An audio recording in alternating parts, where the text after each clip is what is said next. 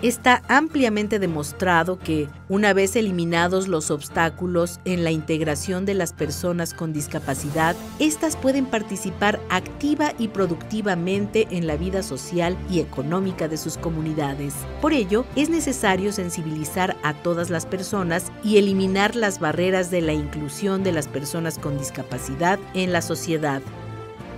Para lograr lo anterior, se aprobó que el 3 de diciembre se conmemore el Día Internacional de las Personas con Discapacidad, con el objetivo de llamar la atención y movilizar apoyos para aspectos clave relativos a la inclusión de personas con discapacidad en la sociedad y en el desarrollo.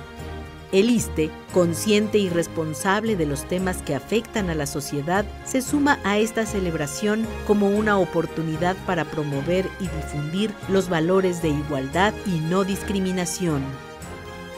Actualmente, existen en el mundo más de mil millones de personas que viven con algún tipo de discapacidad.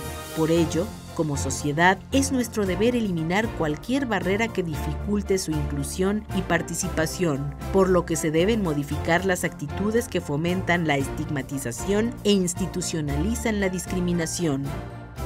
En el ISTE, nuestro compromiso es garantizar que las infraestructuras y los servicios apoyen un desarrollo inclusivo, equitativo y sostenible para todos.